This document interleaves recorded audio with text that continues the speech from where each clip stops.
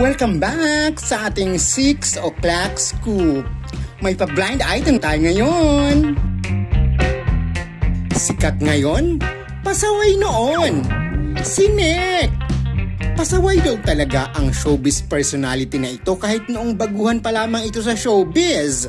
Noon kasi nagsisimula pa lamang siya ay kaliwat ka ng trabaho ang tinatanggap ng kanyang manager para rito.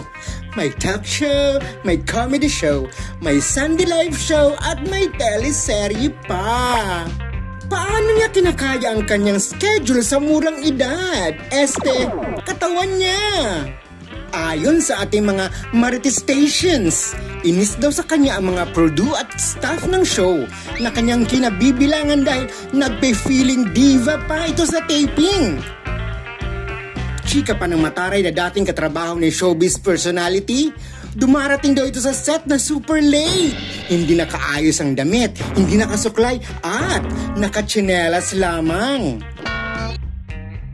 Awang-awa sa makeup artist ang isang veteranang kasamahan sa show dahil para daw itong Teddy Boom Boom o parang patay habang mini-makeupan ang personality.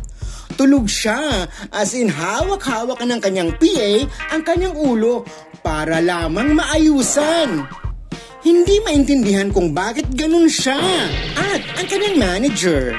Para sa ibang showbiz chika at blind items, bisitahin ang pep.ph at mag-subscribe sa Pep TV. Pak!